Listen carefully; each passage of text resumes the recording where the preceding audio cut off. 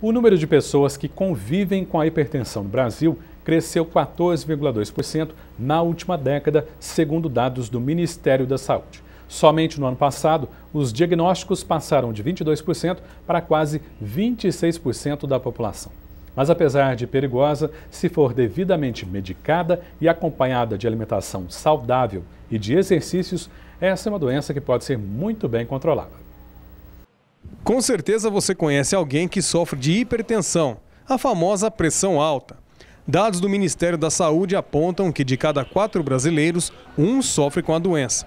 Fernando é um desses. Desde que descobriu a doença há 10 anos, não passa um dia sem tomar o comprimido que controla sua pressão. 10 anos que eu venho tomando remédio né, constante, né? Mas é, não tem assim, né, que é, sua pressão sobe constante. Não é isso não. Às vezes, é, às vezes com a rotina do dia a dia, né, você passa a ter alteração do, da, da pressão. Tem que tomar remédio direto? É, todo dia de manhã eu tomo remédio, entendeu? Assim que eu saio de casa eu tomo remédio.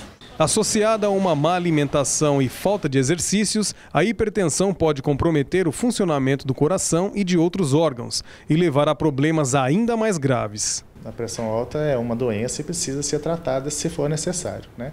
É cultural do brasileiro deixar as coisas para a última hora, né? inclusive na saúde. Então ele só vai procurar o médico quando já está sentindo algum problema, né? sentindo algum sintoma, ou quando já, né, já é alguma coisa mais avançada. E o ideal é você evitar, você procurar fazer uma avaliação antes de ter o problema. Uma doença complicada e perigosa, que atinge homens e mulheres de todas as idades e até crianças.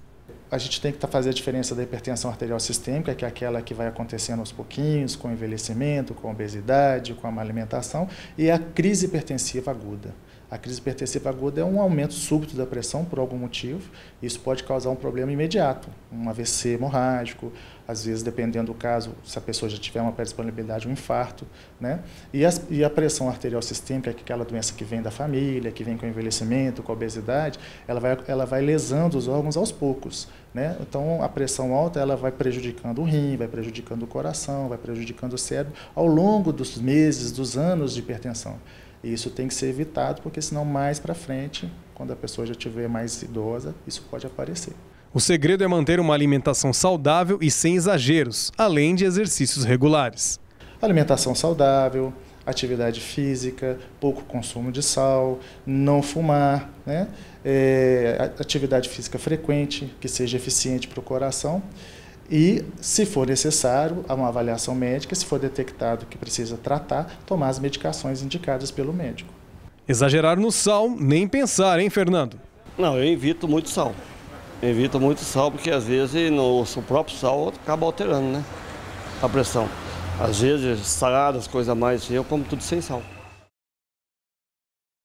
Ainda segundo essa pesquisa do Ministério da Saúde, a maior parte dos casos de hipertensão arterial está sendo identificada em mulheres. Para tratar essas doenças, mais de 76% das unidades básicas de saúde em todo o país disponibilizam antihipertensivos e outros medicamentos que ajudam a controlar a pressão alta.